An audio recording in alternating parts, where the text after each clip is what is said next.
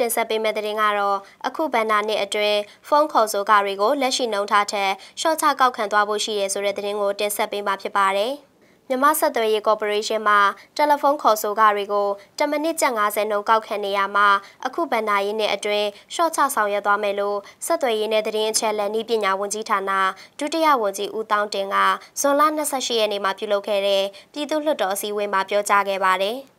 လာတာမဲဆန္ဒနဲ့ပြည်သူ့လွှတ်တော်ကိုယ်စားလှယ်ဦးကြည်မြင့်မင်းမြတ်နဲ့လက်ကင်ဖုန်းတွေရဲ့ပြောဆိုဆက်သွယ်ကားကိုတမိနစ်90ကနေ9ကျပ်နှုန်းကိုရှော့ချပေးဖို့ကန့်လန့်အဆိုပြုလာတဲ့ကုမ္ပဏီရှိမရှိနဲ့မြမဆက်သွယ်ရေးကော်ပိုရေးရှင်းကဥဆောင်ရှော့ချသတ်မှတ်ပေးဖို့အစီအစဉ်ရှိမရှိမေးမြန်းခဲ့တဲ့မိကောအပေါ်ကိုဒုဝန်ကြီးကအခုလိုဖြေကြားခဲ့တာဖြစ်ပါတယ်။ ဒါအပြင်ပြည်တွင်းရဲ့တယ်လီဖုန်း operator လုပ်ငန်းမှာလာမယ့်2014ခုနှစ်ဇူလိုင်လဝန်းကျင်မှာ operator ကုမ္ပဏီ၄ခုအထိရှိလာနိုင်ပါတယ်။ဒါကြောင့်မြမဆက်သွယ်ရေးအနေနဲ့မူဝါဒများချမှတ်က